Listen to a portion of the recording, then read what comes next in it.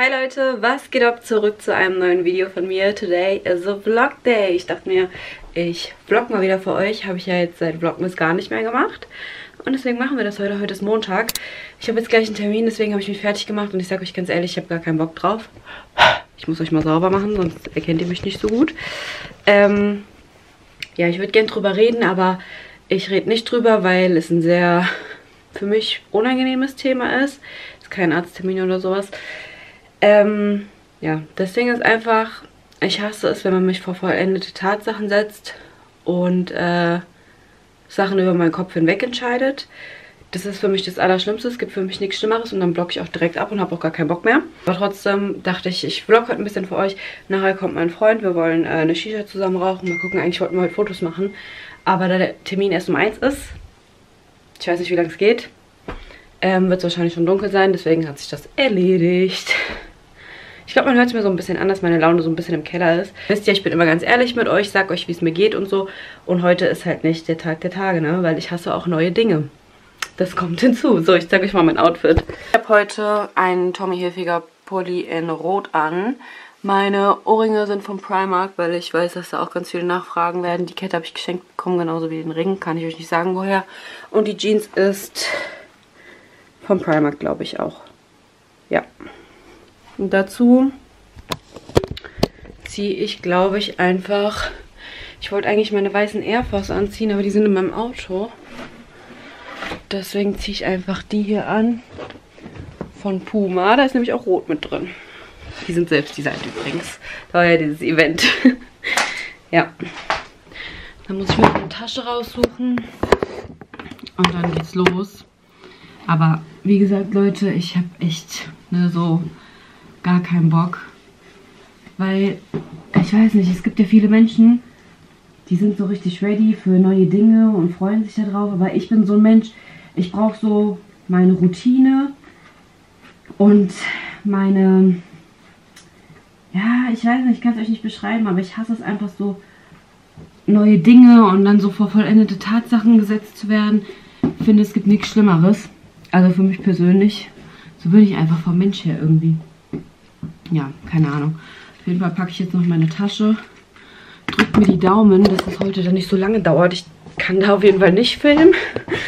ähm, ja, hoffen wir mal das Beste, ne? Ich würde sagen, ich mache mich jetzt erstmal auf den Weg. So.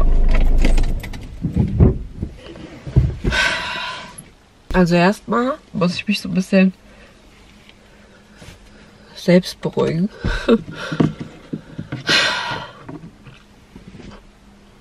Ich glaube, man sieht es mir und man hört es mir auch an. Immer wenn ich weine und mich erstmal reingesteigert habe, dann äh, ist sowieso vorbei. Dann äh, komme ich da auch erstmal nicht so schnell raus. Ich fühle mich einfach so unter Druck gesetzt und so unverstanden. Und so, ich, ich kann es euch gar nicht beschreiben. Keine Ahnung, eigentlich wollte ich kein Riesenthema daraus machen, weil ich halt eh nicht richtig darüber reden will, weil es mir einfach zu unangenehm ist. Aber ich kann mich halt auch nicht da jetzt gleich in mein Zimmer setzen, auf Frieden, Freude, Eierkuchen machen und so tun, als würde es mir super gut gehen. Weil Fakt ist einfach, dass es mir nicht super gut geht. Dass ich mich halt voll, wie ich eben schon gesagt habe, unverstanden fühle. Ich äh, habe so viel Druck auf mir und, und in mir. Dieser Termin hat es nicht besser gemacht. Ja. Ich habe halt auch irgendwie so das Gefühl, dass mir da keiner helfen kann. Und ich habe mich auch echt wenigen Leuten anvertraut. Ich bin eh so ein bisschen speziell, was sowas betrifft, weil, keine Ahnung, mir sind halt viele Sachen voll unangenehm und ich rede auch nicht gerne über so persönliche Dinge und sowas. Also ich war jetzt alles so, was mich betrifft. Ja, auf jeden Fall fahre ich jetzt erstmal nach Hause. Ich bin schon fast zu Hause. Und dann, keine Ahnung. Es ist auch schon 10 vor 3. Mal sehen, was der Tag noch so bringt. Ich wollte eigentlich ein paar Fotos machen. Aber ich glaube, das wird heute nichts. Ja, weil guckt mich an, wie ich aussehe. Momentan echt dieses Leben, das ist doch einfach schrecklich. Ich habe auch keinen Bock mehr, echt. Leute, ich bin jetzt übrigens eine Weile schon zu Hause. Hab auch gerade noch mal was gegessen und gucke gerade meine Serie. Ich habe euch auch auf Insta gepostet, dass ich für heute erstmal offline bin. Und habe mein Handy jetzt auf Flugmodus gemacht. Ich brauche einfach mal Zeit für mich.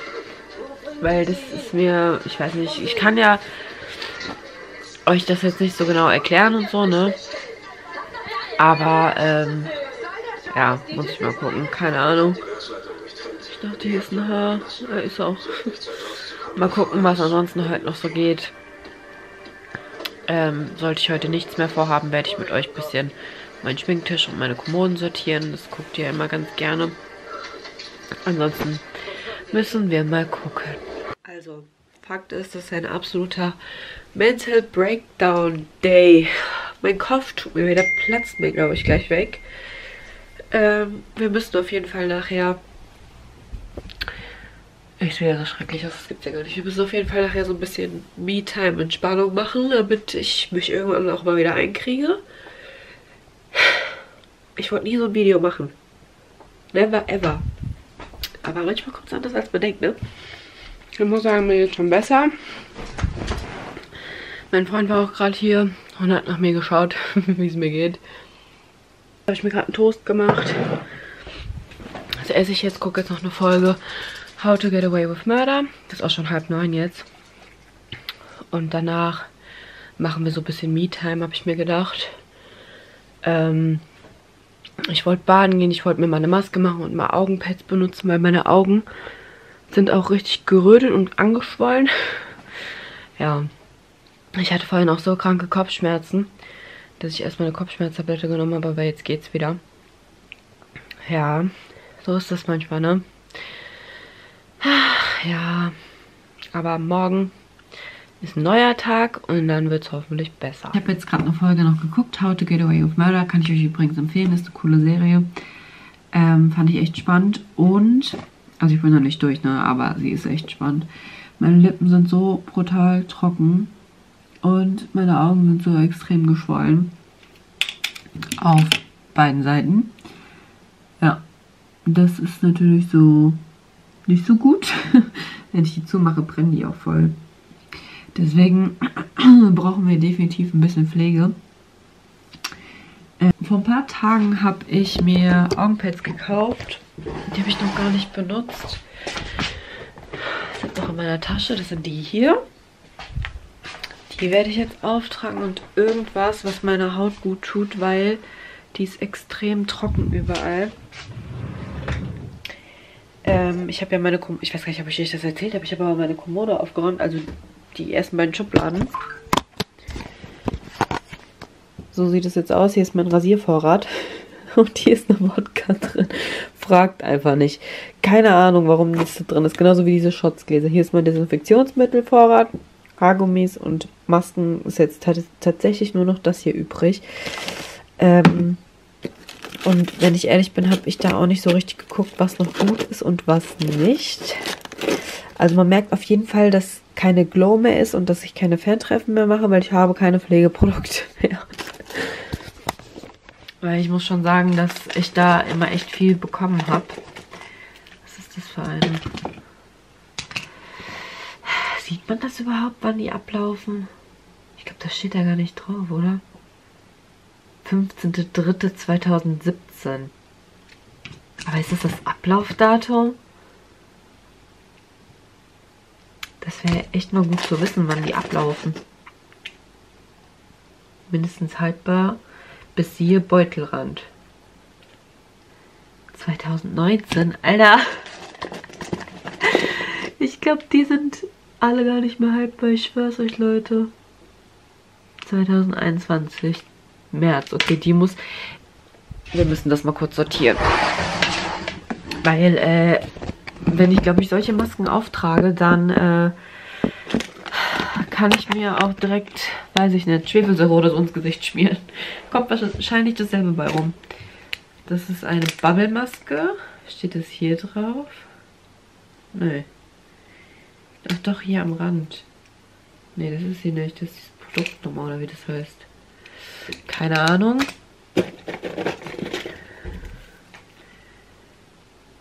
...2020, die ist auch abgelaufen. Ist ja eigentlich echt schade drum. 2021, die ist noch haltbar. Hier steht nichts drauf. Und hier steht auch nichts drauf. Das ist halt doof. Die meisten Masken haben ja so zwei. Und ähm, ich glaube, bei denen stand das halt da drauf, wie lange die haltbar sind. Deswegen habe ich jetzt keine Ahnung. 2019. Hm. Das ist, äh, ja, 2019. 2020. 2019. Was ist das? Tagescreme. Steht nichts drauf.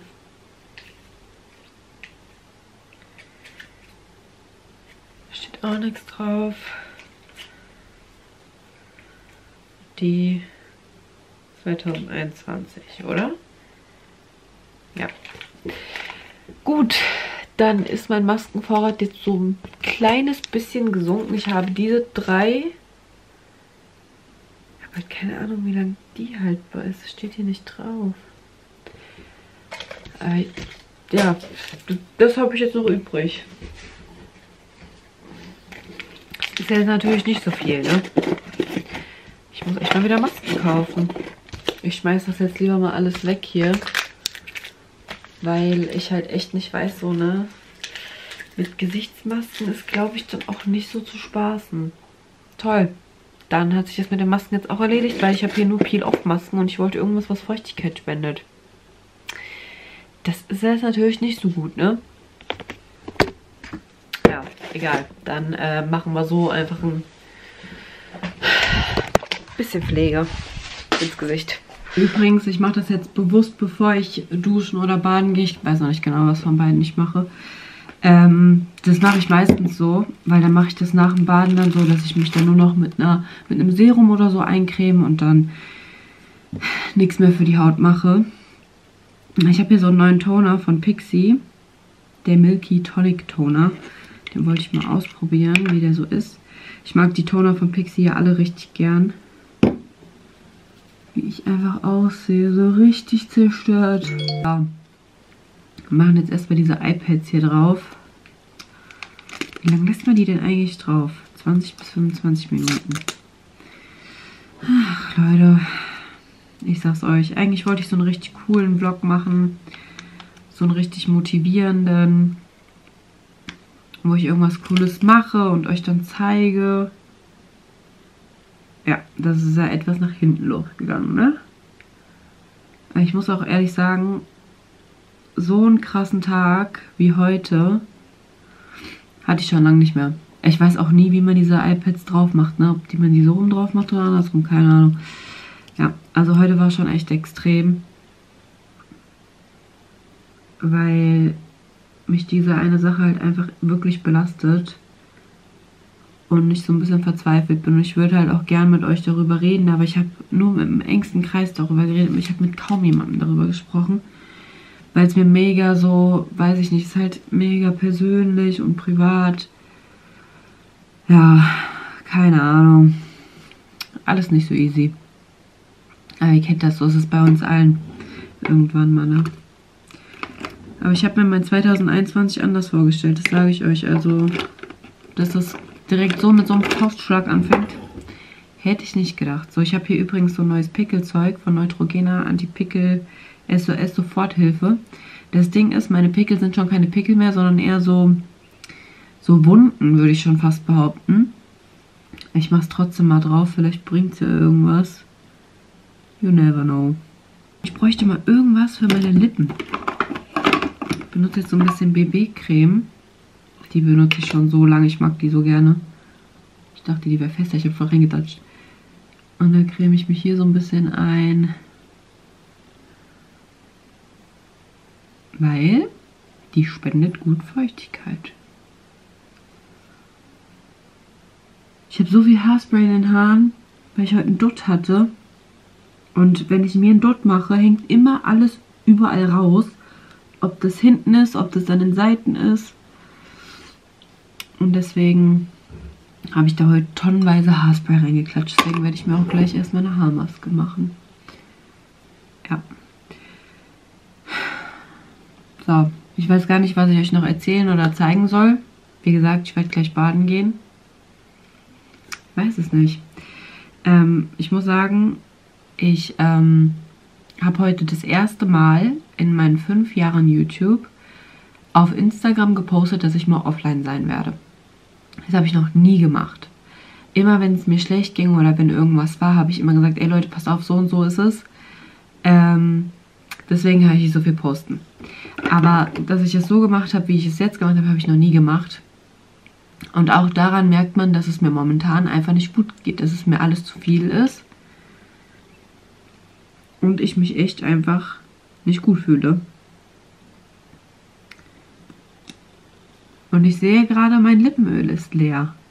Und ich frage mich gerade echt, ob ich das leer gemacht habe oder ob es ausgelaufen ist. Ich habe auch irgendwo noch ein anderes. Aber ich weiß nicht wo. Also ich muss sagen, das hier ist übrigens von Essence. Ist aber, glaube ich, ein LE gewesen. War nie so richtig mein Fave. Weil das die Lippen so stand. Also das färbt die so ein. Die haben dann so einen pinken Schimmer. So, ne, so eingefärbt. Dauert einen Moment, sieht man aber dann gleich bestimmt. Was soll ich sagen? Jetzt bin ich voll vom Thema abgeschweift. Aber ich glaube, ihr wisst, was ich meine. Aber was ich eigentlich damit sagen wollte, ist, dass wir super viele geschrieben haben, was mich wirklich sehr freut. Ich habe niemandem geantwortet. Ich bin auch kaum auf Insta, ich bin auch kaum auf TikTok. Ähm, ich hoffe, dass mein Tag morgen besser ist und dass es mir besser geht. Ich weiß nicht, wie das sein wird, weil sich an dieser Situation grundlegend ja nichts ändert. Ähm, ja, aber man muss halt trotzdem irgendwie versuchen, so positiv zu sein, ne? Weil sonst macht man sich irgendwie auch so ein bisschen selbst kaputt damit, wenn man die ganze Zeit alles so negativ sieht, egal in welchem Punkt das jetzt ist. Es ist einfach schon 10 Uhr. Ich muss mal schnell meine Pille mit euch gemeinsam nehmen, damit ich das nicht vergesse. Ähm, ja, deswegen hoffe ich, dass der Tag morgen besser ist. Mein Freund und ich wollten morgen irgendwo hinfahren, wo viel Schnee liegt, um Fotos zu machen. Ja, einfach mal rauskommen kann ja wegen Corona noch nicht so viel machen. Das ist auch völlig okay und ich akzeptiere das natürlich auch vollkommen und halte mich an die Regeln. Aber ich muss halt einfach mal irgendwie so was machen. Ich glaube, ihr versteht das, so dieses ständige Zuhause sein und ne, so macht einen auch irgendwann fertig. Und ich habe auch von so vielen gehört, dass sie echt so auch verzweifelt sind und nichts mehr mit sich anzufangen wissen, weil sie halt nur zu Hause sind. Und ich kann das echt schon irgendwie nachvollziehen. Das ist schon irgendwie heftig. Seht ihr jetzt, wie pink das geworden ist? Krass.